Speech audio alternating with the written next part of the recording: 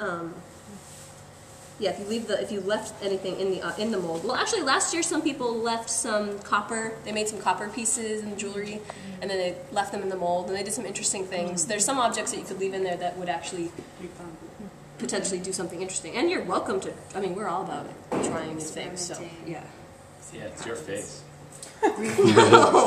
Related to that, Lauren, in the, when you go in the metal shop, that right as you open the door, there is a little uh, wooden box that has a lot of scrap copper in it. Oh, great. So you can find some maybe pieces you want to experiment with. That's great.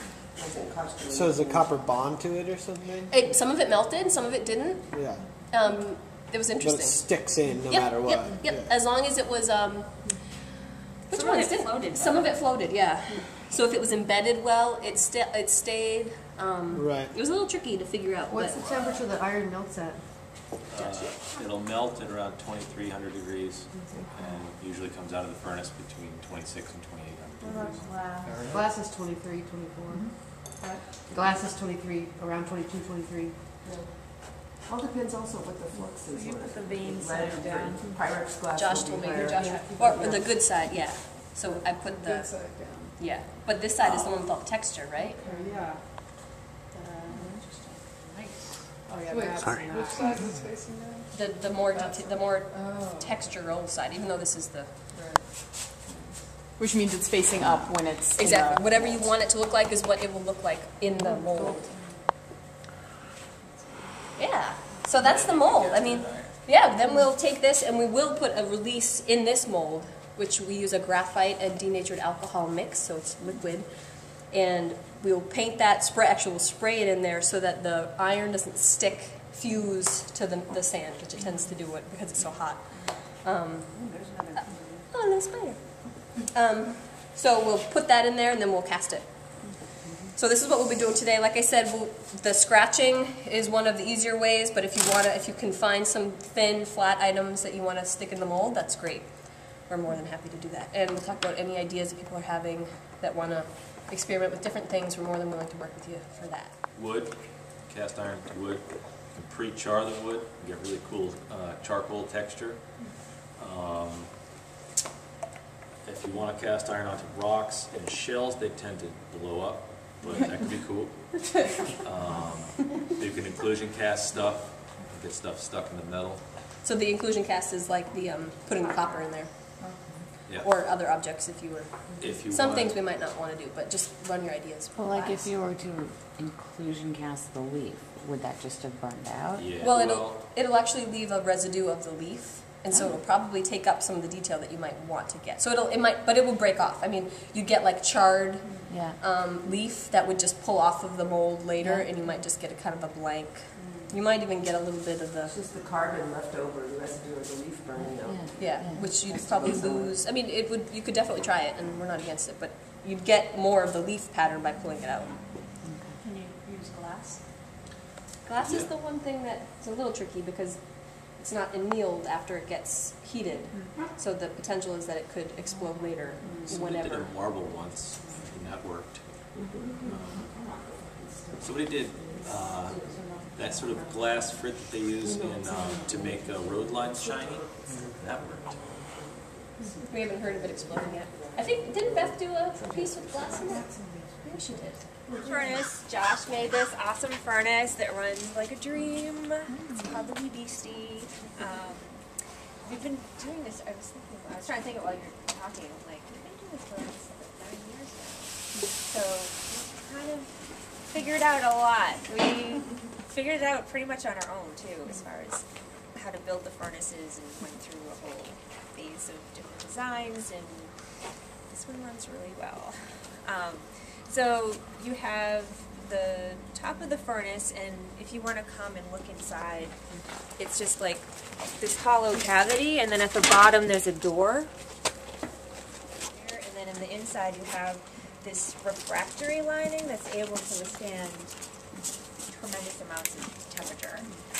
Um, and the furnaces run, we don't really actually know because we don't have a pyrometer that will read that temperature because it's like almost 3,000 degrees. Um, so it's really freaking hot. um, so then, let's see, the other, so you have the, the spout out here.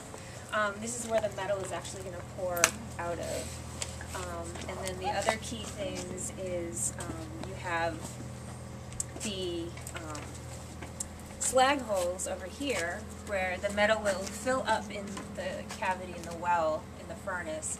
And then the top, what's going to happen is the metal, the crappy stuff, all the impurities are going to float to the top of the metal and then we'll have really clean metal at the bottom near the spout.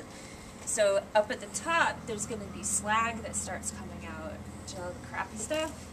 And then we'll be able to determine, okay, well, we have so much metal in the furnace, um, and then the slag will start coming out, and then we'll know, okay, we should really empty the furnace. Um, so the, the these, these, it's called- a, a bott, and so we'll plug the hole when it's filled with metal, um, and then it's a clay and uh, sawdust and sometimes like vermiculite, um, so that it's it's clay, so it'll harden, but it's not like a piece of pottery that's so hard that you can't break through. So um, we're able to put a spike in and then let the metal drain out. Um, over here is where the air flows. Um, a lot of times, some of the furnaces you can actually look inside the furnace as well, but this furnace isn't designed so you can receive. Oh wait, we can. The where is The eye of the beast. Now? There's a Okay, so yeah, when we take this off and we put this on, we have this that you can actually see what's going on inside. You can actually see the metal dripping. Um, it's called the. Pass these around.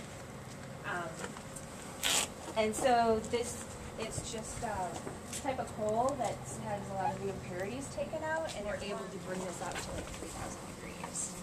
Um, so, mean, you think about it as like your backyard grill where you have your charcoal and then you have air flowing through it. And if you have more air flowing through it, it's going to get a lot hotter. Um, and so this is just a much more intense version of, of that, where you have air that's being blown in and heating that fuel and The breath of the beast. yeah, so this is the blower. Thank you, Josh. Um, so we start putting the iron in, um, we wanna have the furnace preheated. And we wanna have the coke in there, um, and it's the larger sizes of coke that we fill the furnace with and fill it up to about here or so. And then we wanna set the coke on fire and heat the furnace up, cause this is all cold right now, and, you know, if it's outside, sometimes there's moisture in there, so we need to get the furnace ready before we start adding iron, and that usually takes like forty-five minutes to an hour of just using, we use propane, and we have a, a torch that we put inside so that it just slowly ignites the coke, gets the coke going, starts heating up the refractory, um, and getting the furnace up to temperature, because if you don't do that, if you just put the iron in, it's not gonna melt, because it's not up to temperature. Um, and, you know, there's, you learn that when you, like, decide to, like, turn, take the, the, um, preheat torch off and you turn on the air and get it to start blowing, and if it's, if you do that too soon, then the air just actually cools the furnace, and then you have to backtrack and start preheating again. So, um, so we preheat the furnace till it gets to a good temperature, and we do it pretty much by sight um, and timing it. And then we add the blower, and so you have that combination of the fuel and the air, just creating this intense heat and energy inside the furnace. And then we start putting the iron in. And the iron that we use is just radiators that we break up.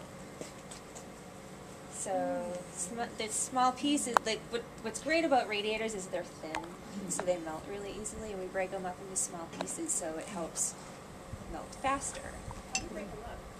to do that, it's pretty funny. So how many Trash radiator- radiators is that over there in that pile? Um, Josh, how many radiators? Five hundred and fifty pounds worth, so, you know, half of, well, let's see, it's a living room. So you collect radiators? Yeah, yeah. As, as many as we can get our hands on. If anyone knows of any radiators out there. How far do you go for them? Gone to- Depends on how desperate we are. We went to a third floor walk-up in Portland. That's what too are Cubs desperate though. have like the enamel and everything, so the, the, um, radiators are really just perfect. I might have some if you want to go to Boston. Okay. Um, radiators, stoves, uh, anything thin that's bust upable. This guy is a very small furnace, so it likes to have small bites of food. Hmm. Um, The reason why you wanna break things up, it's like, you know, you don't just put, put the whole block of Velveeta on your nachos. You wanna like shred it up so it, everything, you know, it's distributed. Yeah, especially with this furnace. I, we've made larger furnaces that can handle huge chunks of radiators that hmm. just, they run so hot and hmm. it just works really well, so. This, this little guy likes the little stuff. Um, so we put the coke in, preheat it, then we start putting the iron in, and what we do is we layer it, because we want to keep that coke hot, and the coke is going to start burning away, and you're going to have the metal melting and dripping down, and you want to have it layered so you have coke and iron and coke and iron and coke. So um, you're you're just layering the iron, so it's this